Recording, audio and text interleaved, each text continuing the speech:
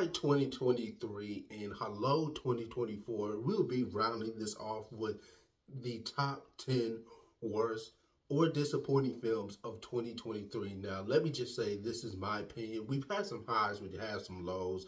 There aren't any films from this year that I absolutely hated, unlike the previous year. However, there is a list of films this year that were straight out just plain bad or was just very lackluster. Now, let's start off. Starting off with number 10, you have The Black Demon. Now, if you guys haven't heard of this film, I'm not surprised because this film looks like just looks like a dumpster fire. The acting is abysmal. This this film is just about a guy taking his family on a trip and he's doing some work on a on a oil rig and he finds these two workers stuck on this like oil rig in the ocean where they're surrounded by this great white who wants to eat them and this this shark has killed some of the killed some of the workers that were previously on this rig that they were working on in the ocean and it's old and broke down and falling apart.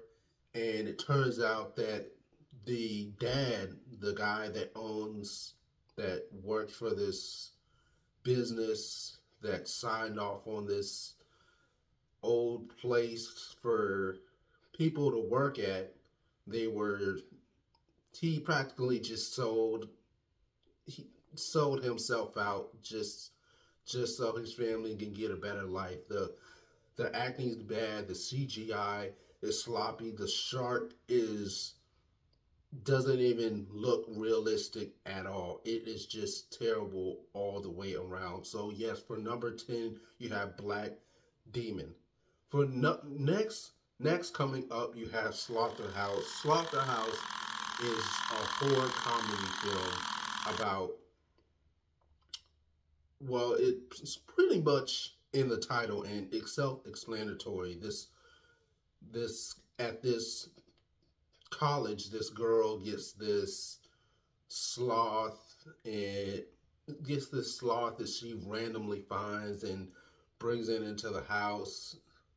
And the sloth goes mad and, you know, starts killing people. I didn't even finish the film because it looked not only was the acting very cringe, a lot of the comedy, a lot of the humor in this film was did not hit the mark at all. This was something that you would find on a low budget this looked like a low budget television film. That's how bad this film was. And the only thing I learned from this film is that humans are terrible and that we need to stop messing with animals. Leave them be. Shut down all this, all all the zoos that are going on, and the sloth didn't even look realistic at all.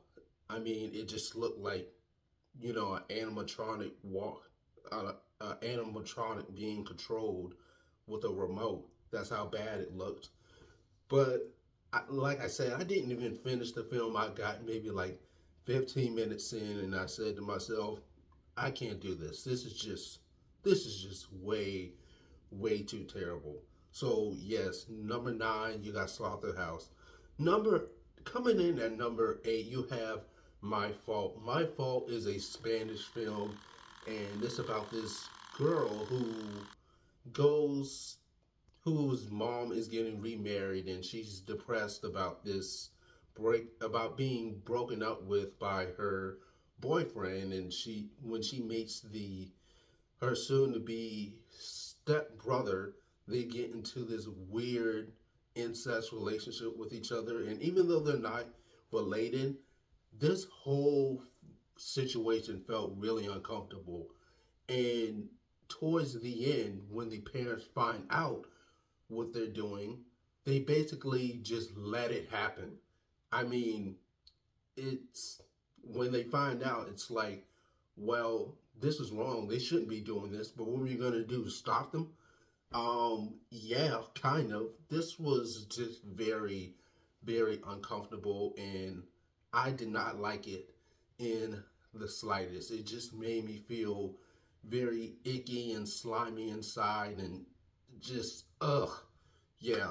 Uh, so number eight, you have Slotherhouse. I mean, number eight, you have My Fault. Number seven, coming in, you have About My Father, starring Robert De Niro. Now, this film, even by looking at the trailer, I knew that they were just trying to emulate Meet the Parents. And Meet the Parents is a classic film, and that can never be duplicated with something like this.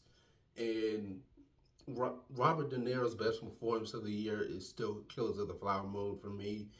And just another failed attempt. This is another failed attempt at Meet the Parents, and it just wasn't funny to me. I mean, it's had its moments, but overall, I don't think there was anything from this film that I couldn't go back to watch from Meet the Parents, and I prefer Robert De Niro in that film over this film. Number six, you have Beautiful Disaster. Now, this starts off as your typical rom-com with, you know, the bad boy chasing after the girl and, you know, her playing hard to get. And the only reason I watched this film is because Dylan Sprouse was in it and, you know, he was a huge part of my childhood with you know, Disney Channel and The Suite Life. So this is that's the only reason why I watched this movie. But this movie is just two different films in one. The first half is your typical rom-com with the bad boy chasing after the girl that he wants, and then the later half of the film turns into this completely different plot with this chick having daddy issues and it was just all over the place and this movie was just a very hot mess. I don't know what else to say about this, but I would just skip over this entirely. So yes, number six is Beautiful Disaster.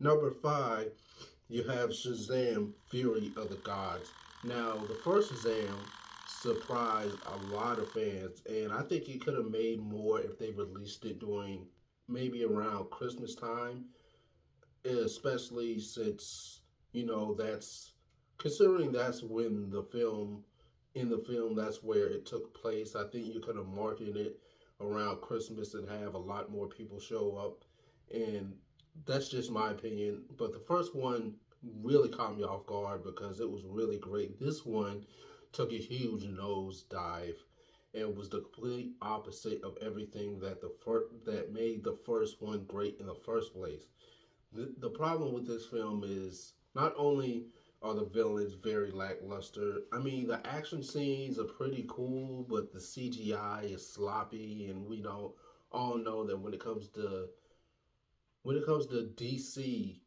their CGI and their visual effects are not the best at all. And the this is why I first found out about Rachel Zegler actually is because of this movie. The humor in this film is not funny at all. I don't even think I laughed once. The only thing that kind of saves this movie for me is Zachary Levi. But then again, he's the complete opposite of his teenage character, Billy. And that's where it kind of where you kind of lose the fans, kind of lose the fans a bit, and I think there should have been more of a better, just better writing when it comes to the personalities between Billy and Shazam, and this film was just not the typical sequel that I expected it to be kind of like Wonder Woman 84. Everything that made the first one great, they did with the complete opposite route.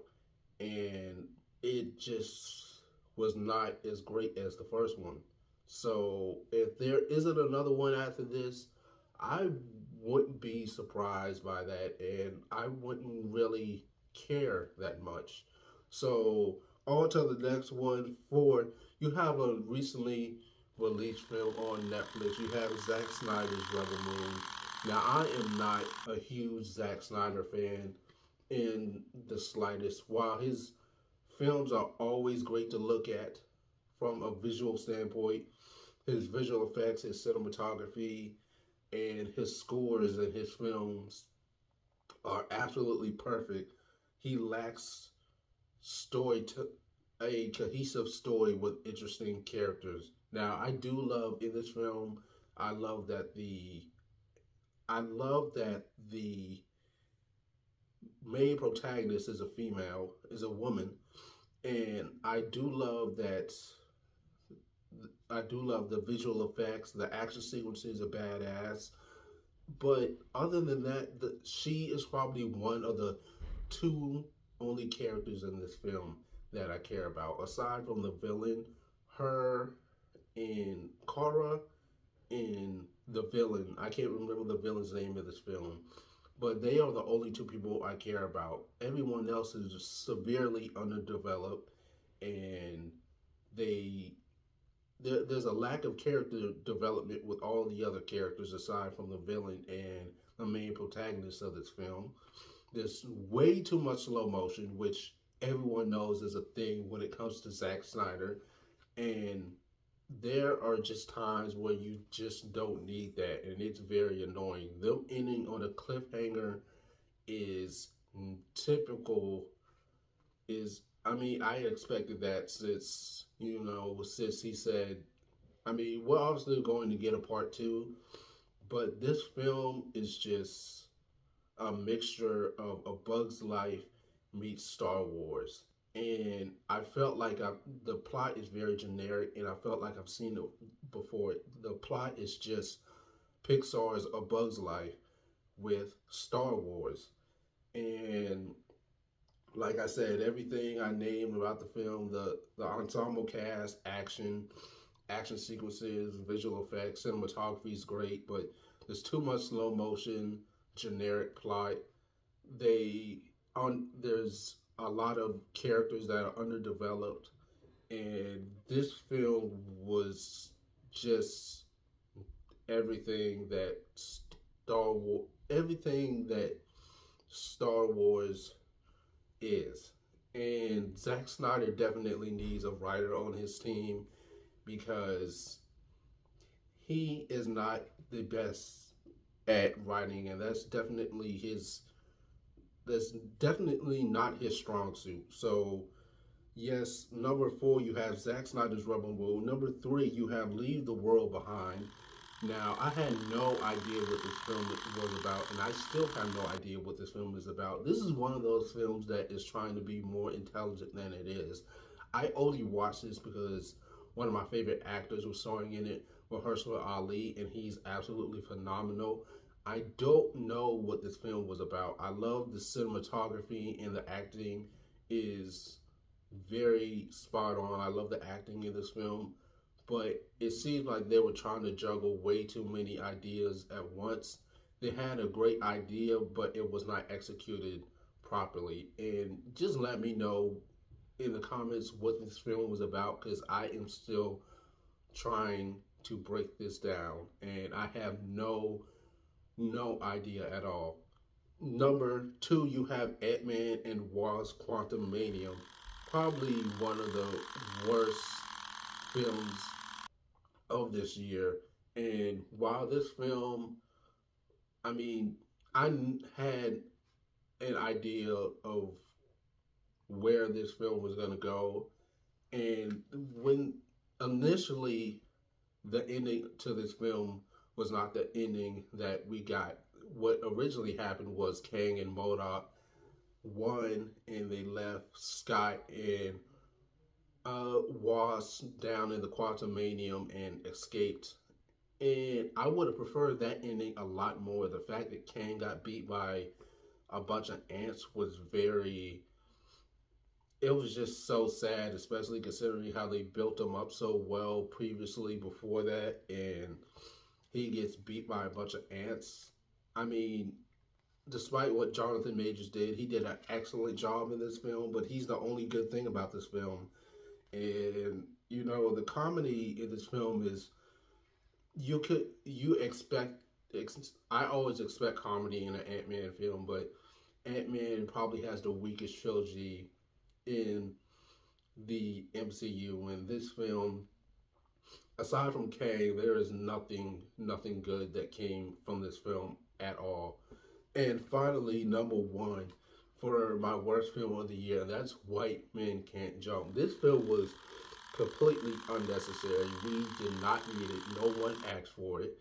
And the only good thing about this film that I liked was the spectacular ensemble cast. Other than that, the humor is not the same.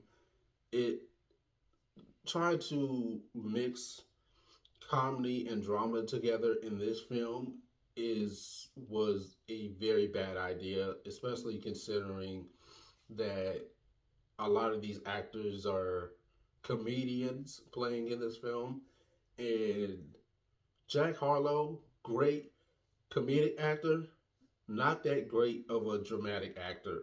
And this should have been left on the shelf because this film was not what anyone asked for at all. Stop making remakes of classic films no one asked for. So yeah, that is my top 10 worst films of 2023. Let me know what you guys think. What is your list? Don't forget to like, share, comment, subscribe, and enjoy your new year.